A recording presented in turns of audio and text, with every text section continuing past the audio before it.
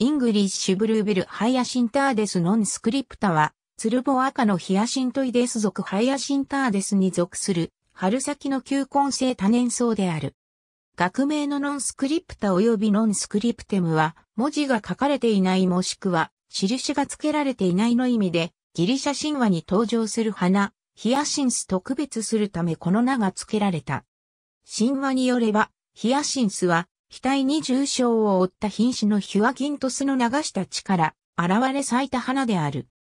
太陽神アポローンは熱愛していたこの美しい少年の死を嘆き悲しみ、その涙は生まれたばかりのこの花に降り注いだ。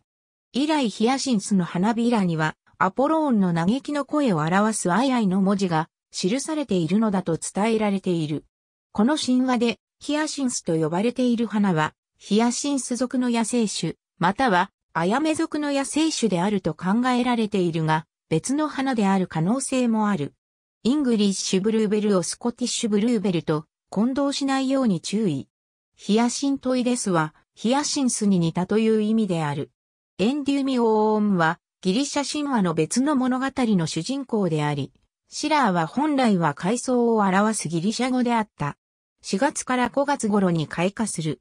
花茎は10から30センチメートルの高さで先端が湾曲して下垂する。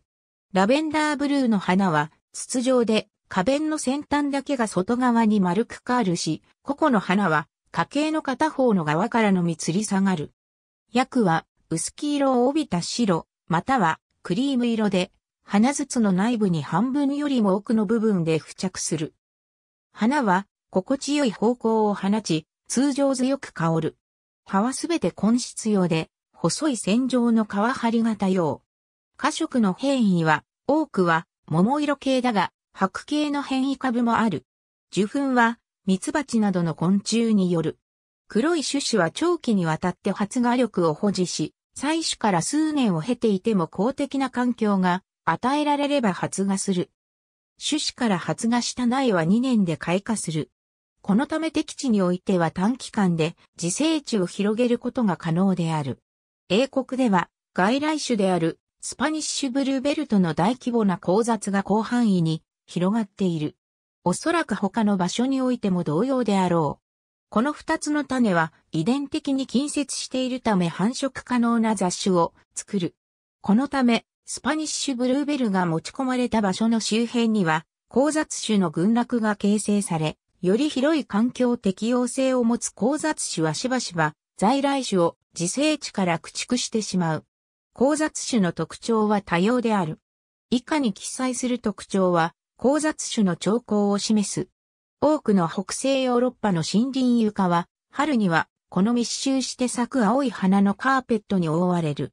これは一般にブルーベルの森として知られている。ブルーベルの大群は特にイングランド東部及びリンカンシャーにおいて、しばしば指標生物として、小森を特定するために用いられる。イングリッシュブルーベルの個体数の70%は、グレートブリテン島に存在すると推定されている。ベルギー、グレートブリテン、フランス、アイルランド、オランダ、スペイン、ポルトガルにおいては在来種である。また、ドイツ、イタリア、ルーマニアには外来種として帰化している。英国では野生生物及び田園地帯保護法によって保護されている種である。土地所有者が自分の所有地から球根を掘り出して売買することは禁止されており、野生の球根を自生地から採取することは犯罪である。